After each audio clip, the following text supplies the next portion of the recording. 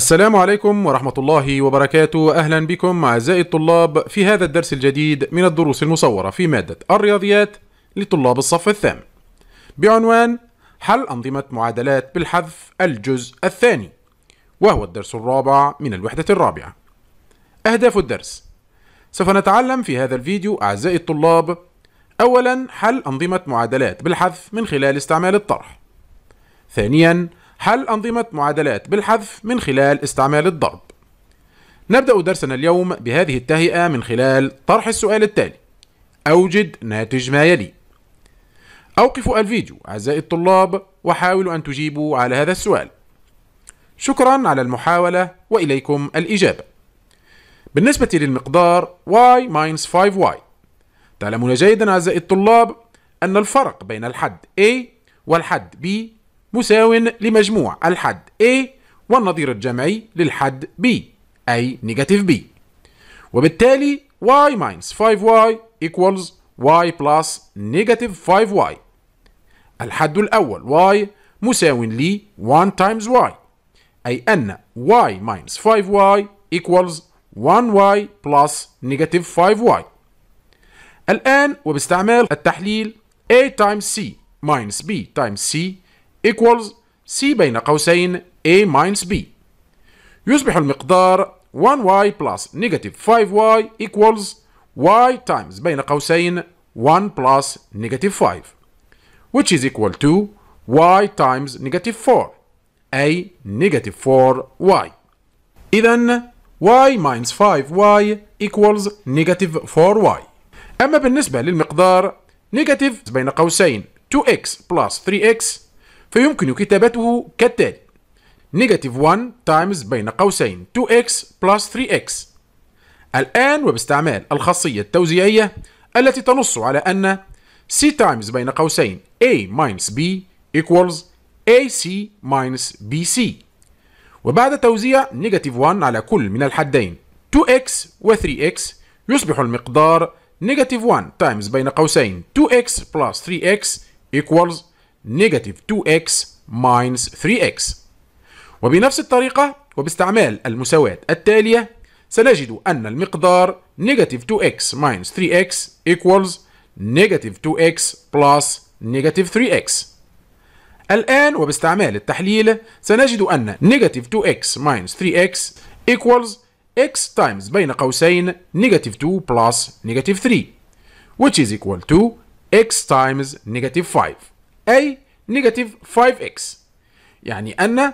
negative 2x minus 3x equals negative 5x ننتقل الآن إلى المثال 2 صفحة 29 من الكتاب المدرسي وهذا نصه تساعد هدى أخاها الصغير في تعلم جمع الأعداد النسبية. أعطت أخاها 20 بطاقة وكتب على كل منها 0.05 أو 0.01 وطلبت منه إيجاد مجموعة الأعداد المكتوبة على البطاقات. قال أخو هدى إن مجموعها هو 0.68. كيف يمكن لهدى حل نظام من معادلتين للتحقق مما إذا كان أخوها قد جمع بطريقة صحيحة أم لا؟ الحل حسب معطيات المسألة فإن هدى أعطت أخاها 20 بطاقة وكتب على كل منها 0.05 أو 0.01 والذي قال بدوره أن مجموعها هو 0.68 أما المطلوب فهو حل نظام من معادلتين للتحقق ما إذا كان أخ هدى قد جمع بطريقة صحيحة أم لا. إذا في الخطوة الأولى من الحل اكتب نظاما من معادلتين لربط عدد البطاقات المكتوب عليها 0.01 بعدد البطاقات المكتوب عليها 0.05 وبالتالي ليكن x المتغير الذي يمثل عدد البطاقات المكتوب عليها 0.01 و y المتغير الذي يمثل عدد البطاقات المكتوب عليها 0.05 ومنه فإن x plus y equals 20 حيث يمثل العدد 20 عدد البطاقات الكلي كذلك 0.01 ضرب عدد البطاقات التي كتبت عليها هذه القيمة العددية أي x بطاقة بلس 0.05 ضارب عدد البطاقات التي كتبت عليها هذه القيمة العددية أي y بطاقة equals 0.68 حيث يمثل العدد 0.68 مجموع الأعداد المكتوبة على البطاقات. لحذف الفاصلة اضرب طرفي المساواة في 100 فنحصل على المساواة التالية. 1x plus 5y equals 68 أي x plus 5y equals 68 وهكذا أعزائي الطلاب نكون قد كتبنا نظاما من معادلتين يمثل المعطيات الواردة في المسألة. الآن هل يمكن حل نظام المعادلات باستعمال الجمع؟ ممتاز. كلا.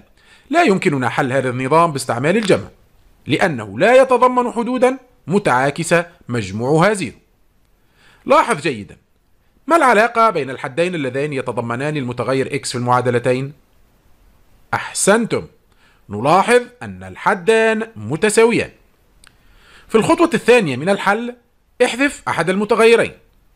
نلاحظ هنا أن الفرق بين معاملي الحد x هو زيرو وبالتالي طبق خاصية الطرح للمساواة لطرح المعادلتين وحذف x من خلال طرح كل حد في المعادلة الثانية من الحد المشابه له في المعادلة الأولى. لنحصل على x minus x equals 0 وبما أن y minus 5y equals negative 4y و 20 minus 68 equals negative 48 فإن ناتج عملية الطرح سيكون مساو ل 0 minus 4y equals negative 48 أي أن negative 4y equals negative 48 الآن لعزل المتغير y سنقسم طرفي المساواة على نيجاتيف 4 بعد التبسيط سنجد أن y equals 12 أحد الطلاب ممكن أن يتساءل فيقول ماذا سيكون الحل لو أنك طرحت المعادلة الأولى من المعادلة الثانية؟ رائع. بالطبع سيبقى الحل هو نفسه لأن تغيير موقع المعادلتين في الحذف لا يغير في الحل. ممتاز. في الخطوة الثالثة من الحل أوجد قيمة المتغير الآخر وذلك بالتعويض عن قيمة y في أي معادلة من المعادلتين. مثلا لو اخترنا المعادلة x plus y equals 20 بعد التعويض تصبح x plus 12 equals 20 لعزل المتغير x سنطرح 12 من طرفي المساواة. بعد التبسيط سنجد أن x equals 8 إذا يكون أخو هدى قد جمع بطريقة صحيحة. إذا كانت هدى قد أعطته 8 من البطاقات المكتوب عليها 0.01 و 12 من البطاقات المكتوب عليها 0.05 ننتقل الآن إلى المثال 3 صفحة 29 من الكتاب المدرسي وهذا نصه. الفرق بين طول وعرض المستطيل المجاور هو 3 سنتيمتر المطلوب ما طول المستطيل وما عرضه. الحل في الخطوة الأولى اكتب نظاما من معادلتين للربط بين الطول L والعرض W. لذلك هل تستطيع عزيزي الطالب أن تكتب محيط المستطيل بدلالة طوله وعرضه؟ أحسنت. يمكن أن تكتب مثلا محيط المستطيل equals مثلي الطول plus مثلي العرض.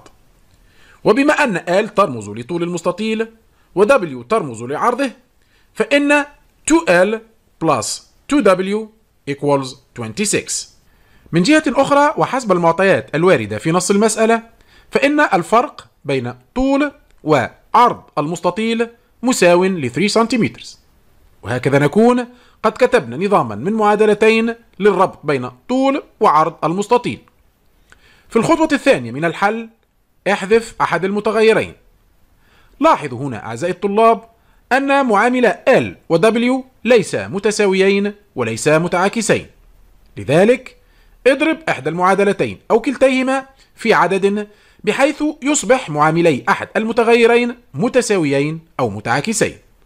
وبالتالي يكفي أن تضرب كل حد في المعادلة الثانية في 2 ليصبح معاملي W كل منهما معكوس للآخر.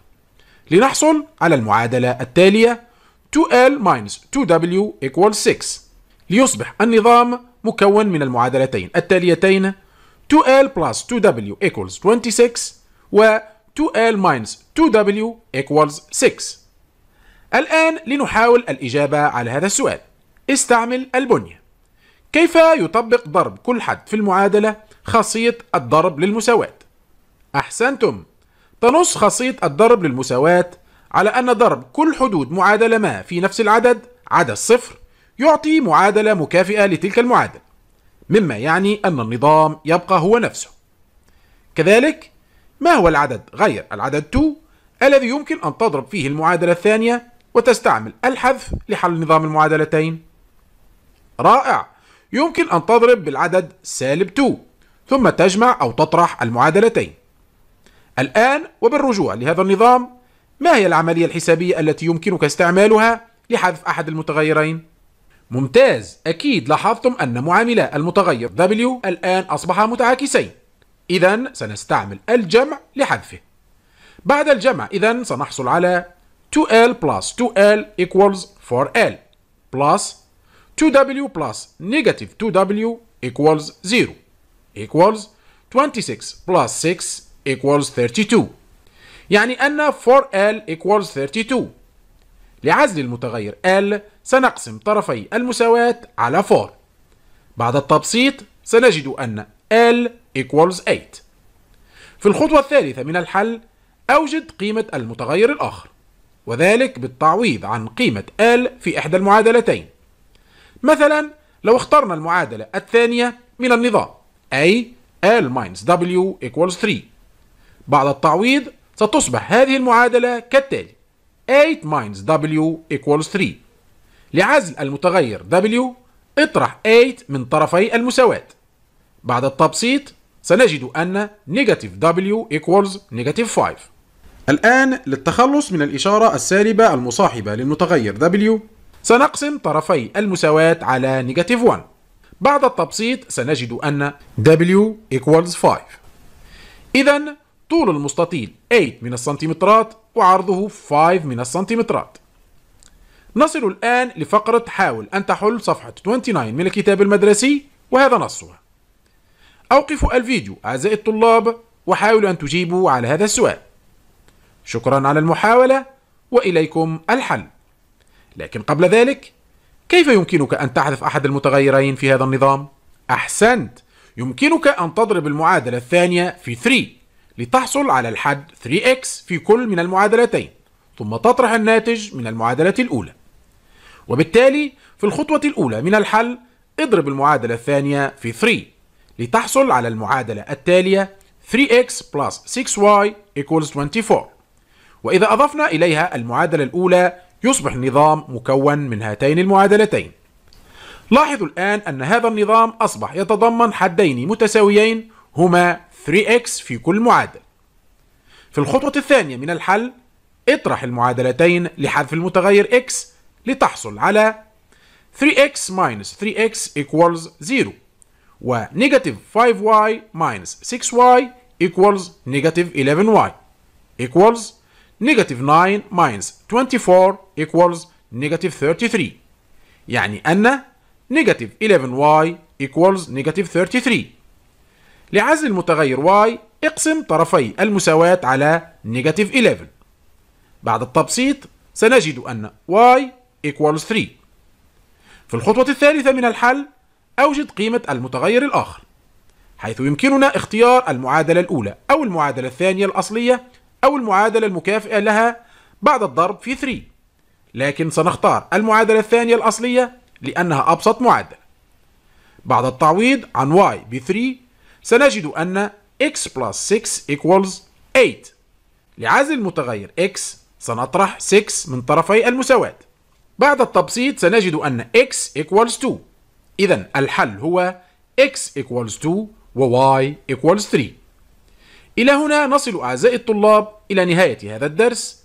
شكرا على حسن المتابعة والانتباه وإلى اللقاء في درس جديد من الدروس المصورة في مادة الرياضيات للصف الثامن.